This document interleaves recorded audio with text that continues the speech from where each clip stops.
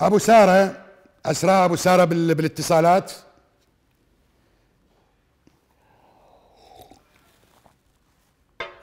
السلام عليكم. شلونك أستاذ نجم؟ أنا دكتور ياسين طبيب أسنان من دياله يقول أحد الأطباء إجرى عملية لوالدتي رحمه الله ويرحم شهداء العراق. يقول حصل إهمال وتقصير بل قلت إن شئت قتل. وأنا أعني ما أقول وأتمنى أن تمنحوني فرصة للحديث معكم. من خلال قناتكم الموقرة كنت قد قدمت شكوى من الشهر الثامن. لا أعرف مصير التحقيق بالشكوى. ما حد اتصل بي. منو حقق بالشكوى؟ منو حقق بالقضية؟ كون شكواي لبيان ما فعله هذا الطبيب وتغلق القضية. أريد تكون قضية رأي عام. أنا قبل أن أسولف يا دكتور ياسين رجال يا عمر. ليش هي تحقيقات جبلت السيد المحافظ قال يوم وين؟ وإحنا بعدنا صابرين. أنطوني دكتور ياسين. السلام عليكم دكتور. وعليكم السلام ورحمة الله. حياك الله دكتور. شنو قضية والدتك؟ الله يرحمها. الله يعزك. وين أجريت العملية؟ ومن الطبيب التي أجرى الذي أجرى لها العملية؟ أولا. ثانيا كيف تؤكد أنها قد مو إهمال أنها قد قتلت نتيجة الإهمال؟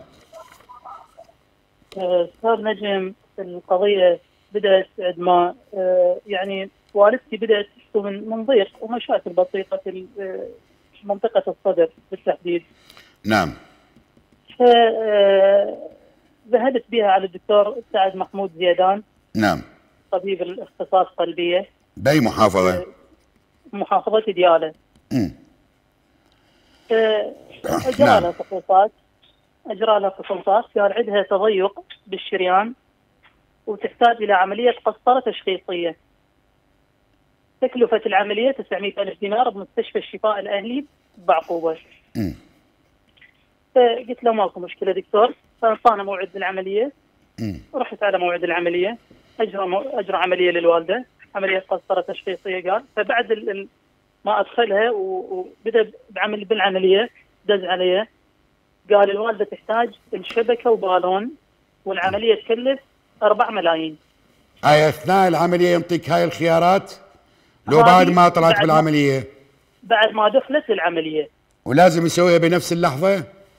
إي لا لا، هو قال قال كيفك تشتغل الع... ال... ال... نشتغل لها؟ قلت له إي دكتور بلش اشتغل أي.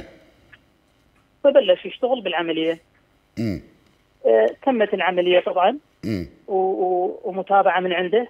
أي. بقى نص الصبح ما فارقنا والكوادر ويانا إلى أن انتهت العملية ورجعت الوالدة للبيت. مم. طبعا اثناء الفحص آه، بعد ما تمت العملية وشوفني القرص وشوفني التقرير أي. قال والدتك عندها تضيق بسيط بشريان آخر. احتمال تحتاج قسطره أخرى واحتمال ما تحتاج. أي. قلت له دكتور والحل؟ طبعا الوالدة ما تعاني لا من ضغط ولا سكري ولا أي مرض مزمن. أي. فقلت له دكتور والحل؟ قال إذا احتاجت نجري لها عملية في مستشفى بعقوبه آه، التعليمي قلت له مو مشكلة دكتور. أنت آه، أيضا بعد- طبيب. أنت أيضا نعم. طبيب. أنت مقتنع بما كان يقوله لك؟ آه، أستاذ نجم يعني ال ال نعم. ال الكلام كان بالشرح أمامي يعني كل شيء واضح. يعني ماكو مشكلة لحد الآن الوضع ماشي تمام. تمام. اي فرحنا المستشفى بعقوبة التعليمي نعم. هذا الحكي بعد ما رجعنا للعياده مرتين ثلاث مرات أعطاها موعد ثاني يوم 27 7 بالتحديد العملية الثانية. أي. فدخلت ال ال على السريع دكتور العمليات. عندي اتصالات كثيرة. اختصر لي على السريع. نعم نجم. دخلت صارت ال- العمليات الوحدة القسطرة. وبدأ يشتغل وانتهت العملية الساعة بال- بالعشرة تقريبا. طلعت الوالدة من العملية. بالعشرة وربع بدأت الوالدة تحس بضيق تحس بمشاكل فرجعت للدكتور قلت له دكتور الوالدة هيك وضعيتها. فرجع عليها شافها متضايقة ومتأذية كلش. فقال راح أدخلها مرة ثانية أشوف شنو المشكلة. دخلها مرة ثانية. قال دكتور صار عندها صاير عندها نزف بسيط. قلت له هسه دكتور قال النزف توقف. قلت له جيد الحمد لله. فبقيت أتابع الوالدة بدت حالتها تسوء شيئا فشيئا. صارت الساعة 11 شو ونص ب 12 شو اتضح راحت عليه قلت له دكتور ال- ال- الوالده وضعيتها انتهت. دورنا على دكتور سعد دكتور سعد ما موجود. كان يشتغل عمليات على الخاص مكمل العمليات وطالع. كان ويانا ولد اسمه أبو ذر عبد الغفور ممرض هذا الوحيد بقى ويانا. يتعامل وياها كأنه أمه. نعم. رحت أركض المصرف الدم عرفت الوالدة بدأ ال SP الضغط مالتها ينزل بدأ الدم ينزل بدات مشاكل يعني بالجسم. رحت أركض اخذ الدم بالمختبر حتى يسوي لها دم. شو اتضح بعدين. دكتور عيني؟ شو اتضح من كل هاي. ما راح تتوضح الفكرة هيك شيء يعني بس حتى تكون عندك الفكرة واضحة. نعم. إيه، نعم. ف فقلت لهم أريد دم قالوا ما نقدر نعطي دم إلا الطبيبة المقيمة هي اللي المقيمة بال- بالردها آه، تجي تستلم الدم. أي. فرحنا نركض عليها الطبيبة المقيمة طالعة. بقينا بس أني وأخويا وهذا الممرض أبو ذر عبد الغفور. لا الطبيب الاختصاص ولا الطبيبة المقيمة. والوالدة ده تنهار شوية شوية. امم ده يصير نزول بالدم نزف داخلي. فبهالحكي صارت تقريبا الساعة 2 ذاك الوقت يلا اجى دكتور سعد. لقاها منتهية الوالدة. زين. قال هاي ليش هيك أطرافها باردة؟ قام يصيح. أخويا قال له دكتور هو منو عافى؟ غير أنت عفتها؟ أي. فراح يركض لل- للثلاجة ذاك الوقت بدأ يسحب دم هذا الحكي أستاذ من 10 وربع للسنتين أو بعد السنتين بالليل. إيه أنت تخيل سلك القسطرة. إذا يسوي جرح ويسوي نزف النزف بسيط والدليل إنه هي ست ساعات يلا توفت ثلاث ساعات ثلاثة. توفت الساعة بثلاثة.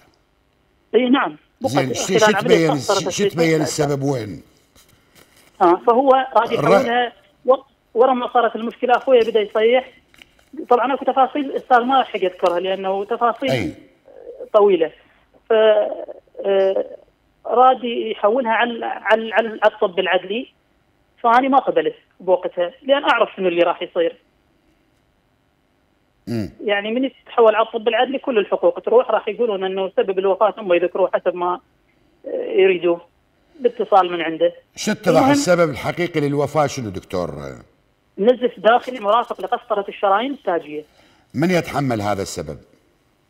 الطبيب الطبيب الاختصاص أكيد اللي أجرى العملية زين أنت طلبت الشكوى؟ طلبت الشكوى من يوم 1 8 أنا مقدم الشكوى. امم ولحد الآن ماكو شيء. أستاذ بس اريد أذكر شيء. إنه قال إنه هو مخلي لها ثلاث شبكات ومخلي لها بالون. امم فأني آه، سمعت إنه أكو حالات قال لهم هيك حتى يأخذ من عندهم فلوس. فأني رحت فتحت القرص يوم طبيب اختصاص. وهسه آه. الفيديو موجود عندي. أي. طلع ما مخلي لا شبكات ولا بالون. فشنو الغاية من ذكر هذه ال- الأمور؟ ليش قال إنه هو مخلي شبكة وبالون وهو ما مخلي؟ زين ليش ما استدعى فريق طبي؟ ليش ما جاب طبيب أوعية وجاب طبيب جراح؟ بس قالوا لك قبل- التحقيقية الآن الصورة كلش واضحة هسه وصلنا الشبكات والبالون ينباقن شلون الولد أي نعم. باقوا النفط وباقوا المنافذ وباقوا أي نعم. البيوت هسه بالمستشفيات بدل ما يحط ثلاث شبكات يحط شبكة شوفوا شوفوا الظلم في ظل هذا الزمن الأغبر وين وصل وصل إلى حد الطبيب وأنا عندي رسائل بيع الأبدان هذا مصطلح جديد إن شاء الله بالأسبوع الجاي آخذه. الآن اللجنة التحقيقية وين يا دكتور؟ والله أستاذ ما أدري. كل أسبوع أروح ذاك الأسبوع رحت على يا ولد كنترول اسراء تقدري تحصلي لي سيف البدر؟ هسه على الهواء؟ تقدرون تدخلوا لي على الهواء إذا تحصلوه أنا دكتور؟ عيون أستاذ أنت ما حاولت تقابل المعالي؟ والله أستاذ يعني أنا دا أنتظر الشكوى ورفعت طلب المجلس الرئيس مجلس الوزراء لأن حقيقة ردت اسويها قضية راي عام أريد يقابلني الطبيب وأحكي بالتفاصيل كلها. اكو هواي شغلات ما حكيت لك أستاذ. لا أخوي هو بعد إيش تحكي أكثر من هذا. أقول لك هن كلهن واضحات الآن. أنت الخاتمة النهائية إنه هذا الوليد يشتغل عمليات بالحرام. المفروض هذا المستشفى شو اسمه هذا المستشفى اللي أجريت به العملية؟ أستاذ العملية هذه بالمستشفى العام ولذلك هو تركها وراح مو مثل المستشفى الخاص اللي كان يتابعها. إي كان هسه الآن هو والمدير يحالون إلى التحقيق. هسه أنا ما أقول أنت صح 100% بس أنت الآن عندك قرص. هذا القرص نعم. الآن إذا المعالي يسمع الآن السادة بوزاره الصحة يدزون على الدكتور ويدزون على القرص ويدزون على الطبلة وأنا خوفي كل الخوف انه الطبلة الان تضيع ويمكن يضيعوها. هذا اللي اخاف من الطبلة تضيع. لكن القرص. القرص موجود. شو اسمه المستشفى دكتور؟ مستشفى بعقوبة التعليمي خلص يا معالي الوزير. القرص موجود والدكتور موجود ومدير المستشفى موجود وابن الضحية موجود. دزوا على القرص. إن كان هذا الرجل على حق فهنالك ضحية. وهذا الطبيب إذا يظل كل بعقوبه تروح لأنه يبوق بالشبكة. ماشي دكتور ماشي عيني. أنا أتابع وياك أنا أتابع وياك وخلي أنا أشوف المعالي هاي ثالث سابع مرة يا وزارة الصحة أنا أسولف بهذا الشكل. خاف تقولون الدورة انتهت. ترى الجريمة لا تسقط بتقادم الزمن. أيضا الآن ينضم إلينا مشكورا السيد سيف البدر المتحدث باسم وزارة الصحة. السلام عليكم أستاذ سيف. وعليكم السلام ورحمة الله. وسهلا أستاذ نجم والله أنا عندي عتب وياك أستاذ سيف. يعني أنا أكثر من مرة ناديت ودعيت بكثير من القضايا. ما رديتوا علي أو تدري أنا النهار كلها صيح وقلبي محروق. هسه خل أفوت لك بالمشكلة الأولى. قبل قليل كان ويا إذا تسمح لي أعلق أنا تواصلي ويا العلاقات العامة مباشر مثل وهذا اللي خلاني استغرب اني قبل أقل من دقيقة اتصلت بي القناة وطلبت أن أشارك دون أن تكون عندي يعني أي موعد مسبق مع حضرتك. والله والله صحيح. ولذلك أنا عاتبتك. لأن أنا أعرف أنت تستجيب. لا أستاذ نجم حتى حتى الناس يكون واضح عندها. ما واصلنا شيء وإحنا لا والله بالبرنامج يا أستاذ سيف. أنا ناديت بالبرنامج. المفروض الأخوة بالمكتب الإعلامي يقصون لك وللسيد الوزير هذه مشاكل الناس. نعم أستاذنا العزيز خلي يصير يعني اتفاق. يعني أي قضية تخص الجانب الصحي بالذات أتمنى من حضرتك تعرف يعني كثير برامج وكثير مش خصوصا بعد ظهور أوميكرون الآن تقريبا يعني نعمل يعني ليل ونهار أقدر أقدر أقدر هذا. خدمتكم وهذا واجبنا بس أتمنى إنه يكون تنبيه إذا في قضية خصوصا إذا قضية مستعجلة قضية مهمة. أي. آه، يا أما من جنابك وإذا ما عندك وقت الأخوة والأخوات إحنا على تواصل مستمر معاهم.